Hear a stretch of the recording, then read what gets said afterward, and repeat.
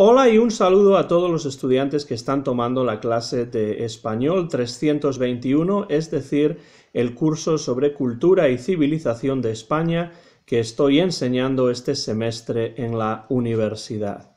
Este vídeo se encuadra dentro de la sección de la clase sobre el arte y los movimientos artísticos en España y en esta ocasión vamos a hablar de un movimiento artístico y cultural de los años 80 que se llama la movida. Tienen más información en el libro de texto que aquí está, España, temas de cultura y civilización en las páginas 33 a 35. So more information in the book, pages 33 to 35. Después de la muerte del dictador Francisco Franco en 1975, ustedes saben que en España comienza el periodo que se llama la transición, transition to democracy.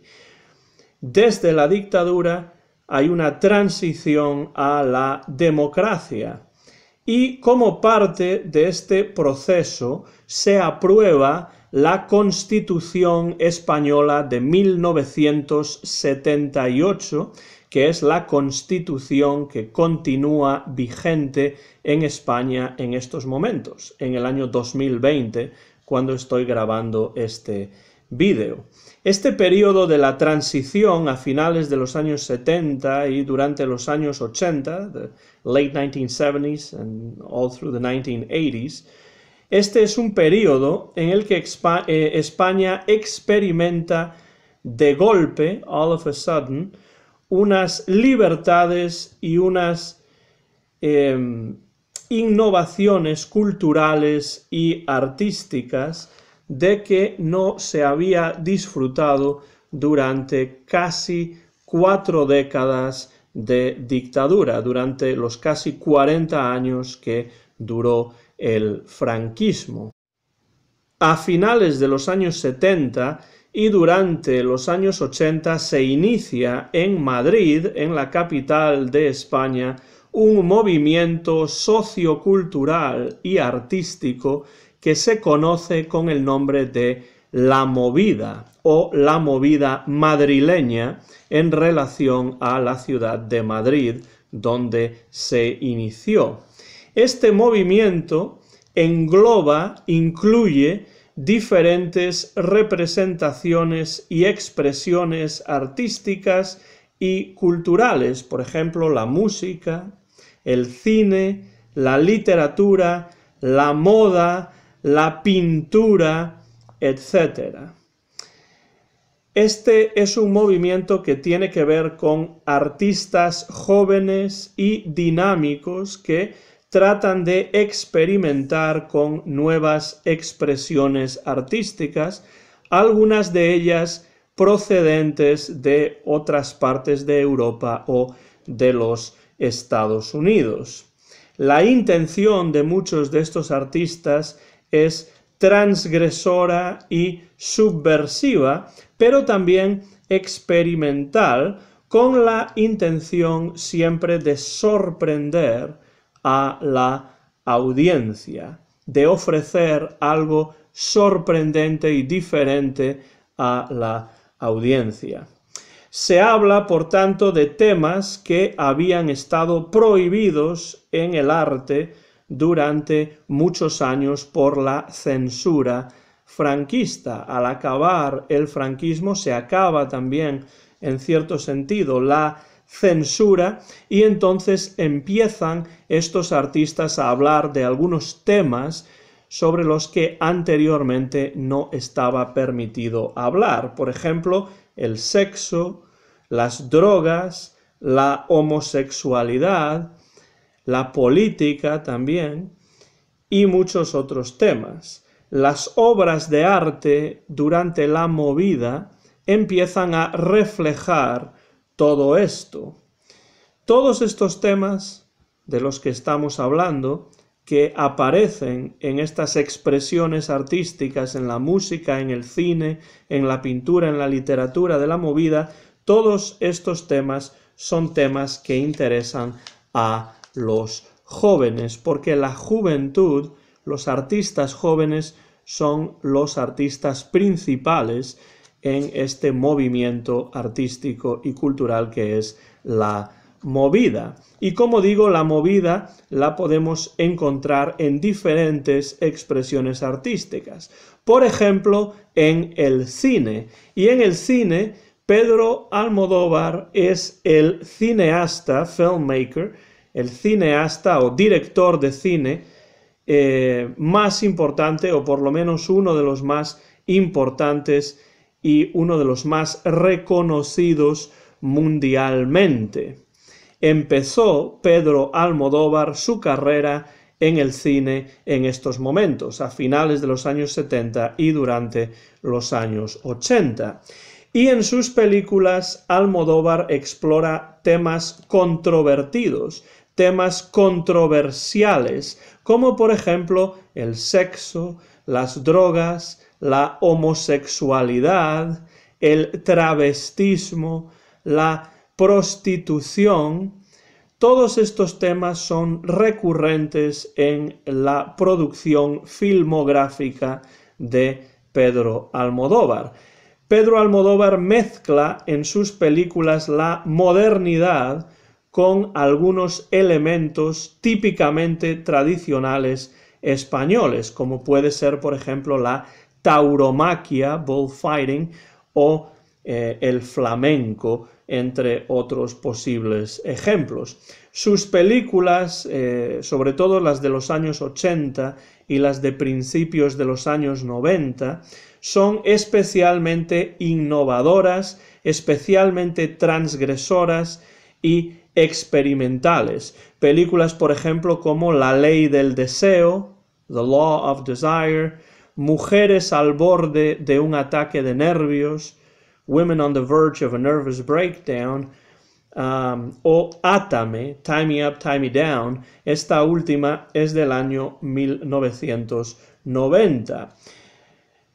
Pedro Almodóvar fue eh, adquiriendo mucha popularidad dentro y fuera también de España, pero el reconocimiento internacional de Pedro Almodóvar llegaría en el año 1999 con su película Todo sobre mi madre, All About My Mother, que ganó el Oscar de Hollywood a la mejor película extranjera. Esta es una de las películas más famosas y más reconocidas de Pedro Almodóvar, que es muy importante en el cine dentro de estos años de la movida de los años 80, de 1980s.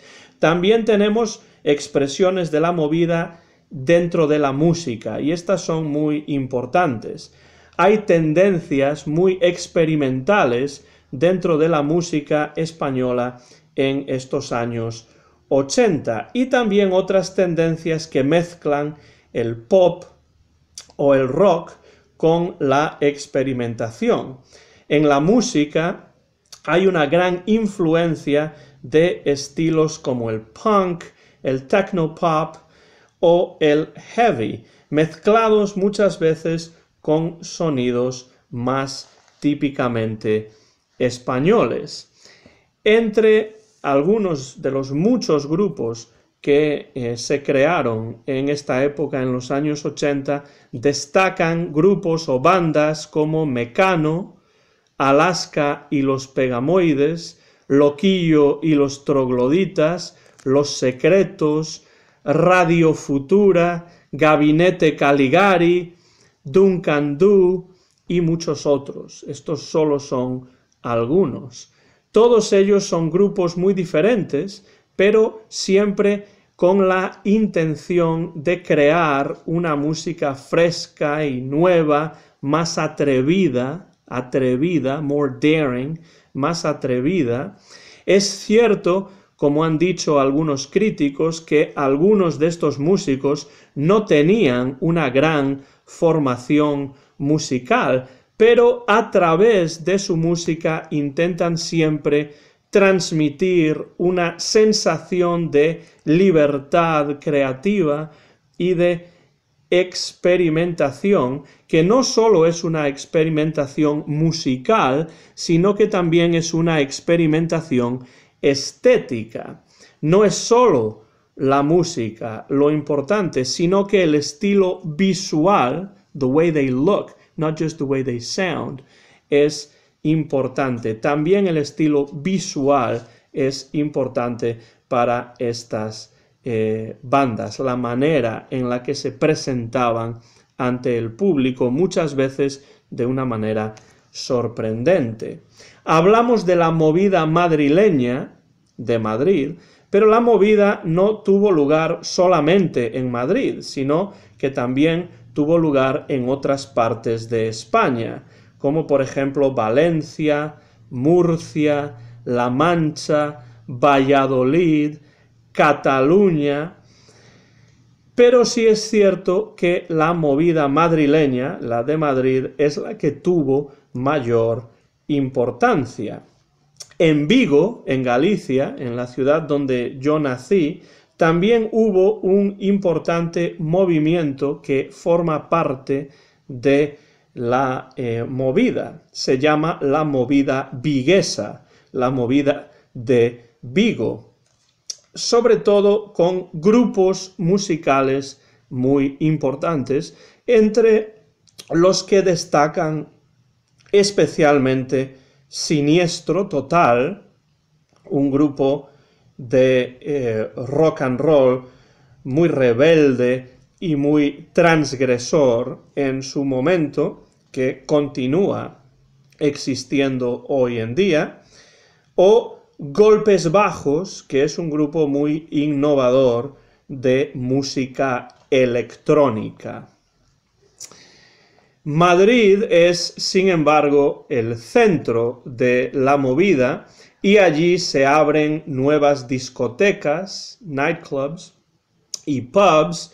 Allí tienen lugar los desfiles de moda más eh, importantes Allí también la vida nocturna, the nightlife, es muy intensa. Y el cantautor, singer-songwriter, el cantautor Joaquín Sabina, retrata en su canción Pongamos que hablo de Madrid, del año 1986, en esa canción retrata el Madrid de esta época, una ciudad modernizada, en la que se respira libertad, lo cual es positivo, pero que también tiene sus partes más oscuras. Does have a darker side. Por ejemplo, las drogas, la incomunicación, la marginalidad, etc. En la página número 34 del libro de texto de España eh, temas de cultura y civilización, en la página 34, page 34, ustedes tienen la letra completa de esta canción de Joaquín Sabina que se llama Pongamos que hablo de Madrid.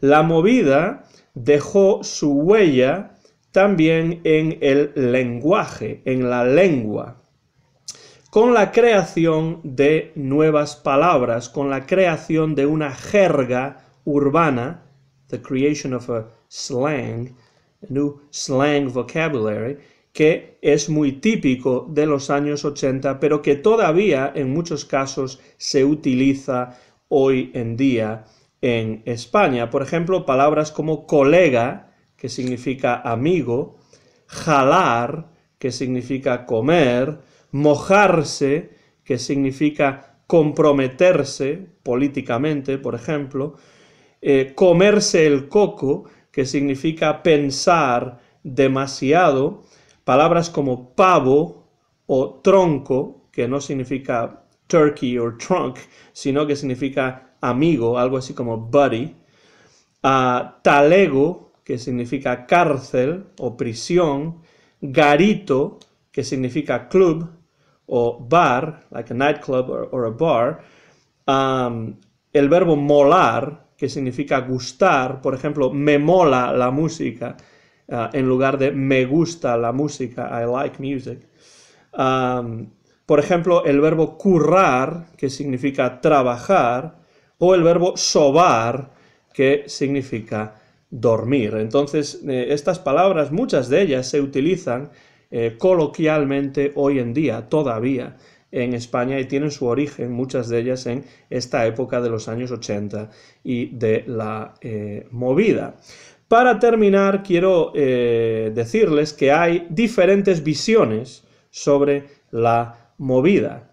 Los críticos de la movida, las personas que son críticas con la eh, movida, que no les gusta demasiado la movida, los críticos señalan que es un movimiento superficial, that shallow, sin mucho contenido profundo, it doesn't have a lot of content, una moda, a kind of fashion or fad, una moda solo para jóvenes rebeldes pero sin importancia ni profundidad. Es decir, las personas que critican duramente la movida piensan esto, pero los que defienden la movida, los que están a favor, aquellos a los que les gusta la movida, les atrae la movida, los defensores de la movida sostienen, dicen que fue el inicio de una nueva generación pop en España que nace con la llegada de la democracia después del franquismo y también dicen que la influencia eh, de la movida de los años 80 puede sentirse todavía en la España de hoy, en la que muchas ideas innovadoras, subversivas, rompedoras de los años 80, eh, que se iniciaron durante la movida se ven ahora como eh, ideas normales y aceptadas de manera natural y cotidiana en España. Entonces hay personas que critican negativamente la movida y hay personas que defienden desde un punto de vista positivo este movimiento sociocultural y artístico que fue la movida en Madrid, sobre todo, pero también en otras partes de España durante los años 80. Termino ya con esto el vídeo recordándoles que en la clase veremos algunos eh, vídeos y escucharemos algunas de las eh, canciones, sobre todo, que eh, salieron de esta movida madrileña, sobre todo, pero también en otras partes de España durante los años 80.